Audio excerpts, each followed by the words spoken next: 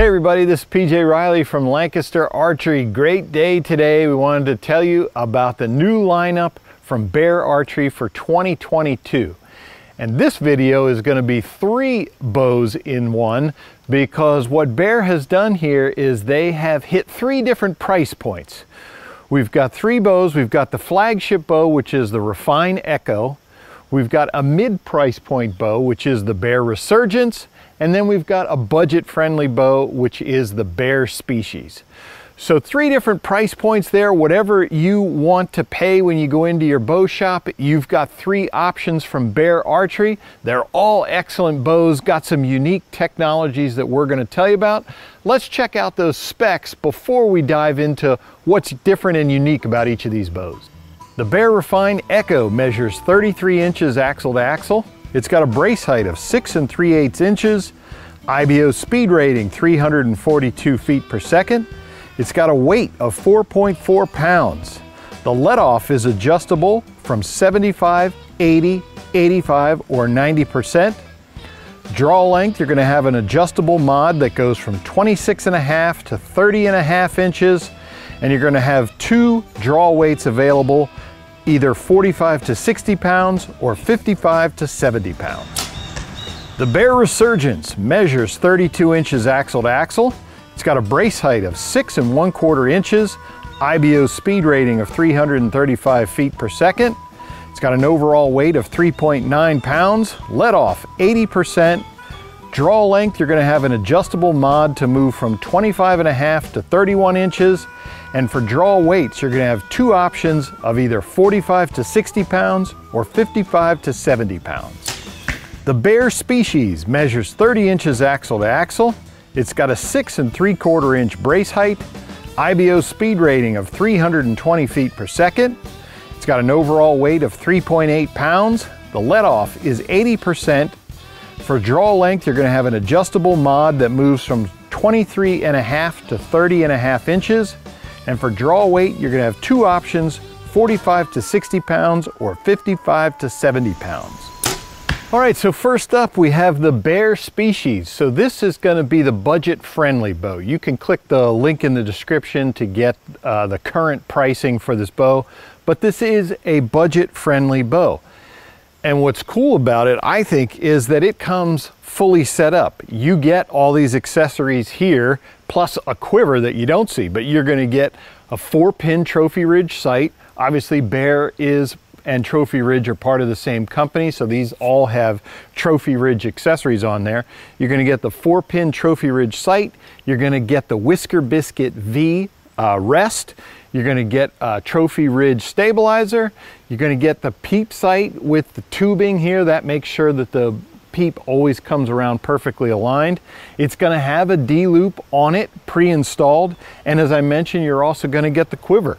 So basically when you get this bow, all you need are arrows and a release and you're ready to go. So that is definitely handy uh, if you want to go out and you don't want to spend a ton on a bow setup for bow hunting. But this would be a bow that's going to be ideal for bow hunting, also 3D archery. As you can see here, it is a single cam design.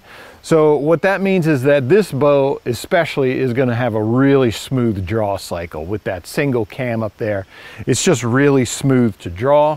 This is gonna be a great bow. You know, it's 30 inches axle to axle, but this is a bow that's gonna fit just about any archer. As we mentioned, the draw length is adjustable. It goes from 23 and a half up to 30 and a half inches. So that's a huge range of size of people and also ages. This is gonna be great for kids. This is gonna be great for full grown adults. In shooting this, uh, what I noticed about it was it did, as I said, that draw cycle, really nice. It draws nice, aims nice, holds nice, and just a nice shooting experience. They've got lots of dampening all over this bow. You've got it in the string stop here. You've got it on the limbs here. So just a lot to kill all that vibration. Of course, this stabilizer by Trophy Ridge, this is all rubber, so this is gonna be a great vibration dampener as well. Um, but yeah, great bow, especially with all the accessories that you get at that budget friendly price. It's hard to go wrong with the Bear species. All right, so moving along, we come up next to the Bear Resurgence. This, as we mentioned, is the mid price point bow. It's not quite flagship, it's not quite budget. In the middle there, it's gonna be a, just a little bit higher quality bow. You can see that nice riser. Got that full camo all over it. This is, Bear did something unique with this one. They've revamped their mid price point bow to make it performing a little better. We've got their first binary cam with 80% let off.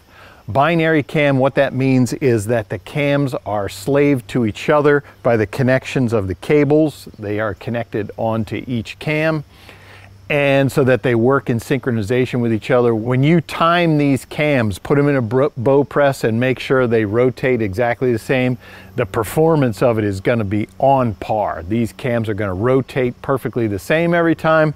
That's what you want for performance out of a compound bow. And that 80% let off that it has there. I mean, that's great for bow hunters.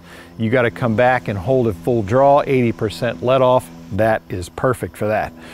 So this bow as well comes with all these accessories. So that mid price point, you get all these accessories. Once again, four pin trophy ridge sight, Whisker Biscuit V arrow rest, You've got your trophy ridge stabilizer, peep sight, D-loop, and not shown, but comes with it is an arrow quiver as well.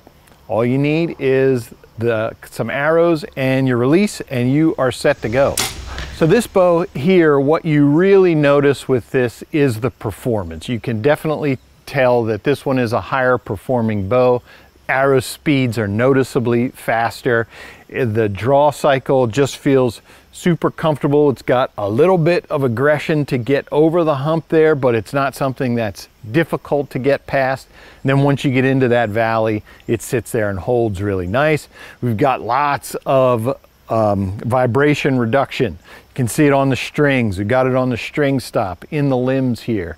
So they've done a lot to reduce the vibration on this bow. And it is a high quality aluminum the riser's made out of.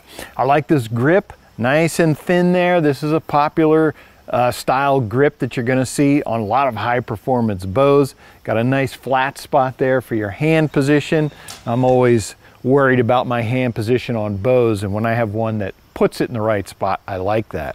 Uh, but just a great bow. Um, what Bear wanted to do with this was to provide something that wasn't quite at that flagship price, but was still high performing. And they've done it with the Resurgence here, as I said. When you shoot it, you can really tell that this thing is spitting those arrows out there. Getting it tuned took practically no time at all. It just shot excellent for me. So that is the Bear Resurgence.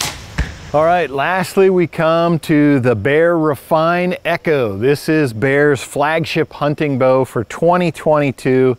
This is the performer. This is the one that has all the bells and whistles in the design. The EKO Cam Bear has had out, this isn't the first bow to have it, uh, and it's a unique cam. It's great in that it has let-off adjustments, 75, 80, 85, 90%. That and its um, draw length adjustment, you can change both of those without the need for a bow press. It's pretty unique how they do that, but it has to do with the draw stop and moving the mod that you can adjust between those let-offs for every draw length that this bow provides. Now, why would you want to do that? Well, some archers like to have as much let off as possible. 90%, that's the highest that's offered out there in compound bows you get in that hunting setup where you have to, you come to full draw and you have to hold, this one will sit there all day for you. So why would you want 75 or 80%? Well, if you have a shot that requires a little more aggression in the cam, you need a little more pull from the cam and the string as you're pulling backwards, you kind of need that extra resistance, you would want to lower that. And a situation where you might want to do that is in high winds if you're shooting out, if you're out west and you have 90% let off, you come to full draw, it's very easy for you to move all over the place. But with that lower let off, you're putting more resistance into it. You can fight that wind a little bit better. So that's why you would want to do that. And to be able to do that on one bow just by moving some parts, That's awesome. Uh, so this is a whole new riser that Bear came out with here. You can see that riser design. It is an aluminum riser. You've got some bridging up above and down below. That's gonna promote rigidity in this bow.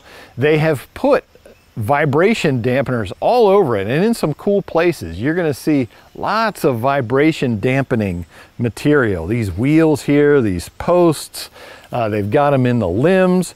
New string stop from Bear they have out this year. It's got extra uh, vibration dampening as well.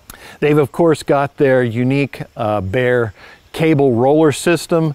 As you draw this bow back, this arm pivots this way, and of course it's got the wheels your, as your cables run through these rollers here. Just makes for a super smooth draw cycle in this bow. Uh, it really is nice. Something else Bear did with the Refine this year is they have their Align Lock technology. So there is a level built into the riser right there. What would you use that for? Well, when you go to level your sight, you want to uh, make sure that your second and third axis on your sight are level. The first thing, one of the first things you're going to do is you're going to clamp a level to the riser. And then you want to level things. You want to know that when that bow is perfectly standing up straight, then you make your sight adjustments once you know that bow is perfectly vertical. Well, with this level built right into the riser, you don't have to use any other parts.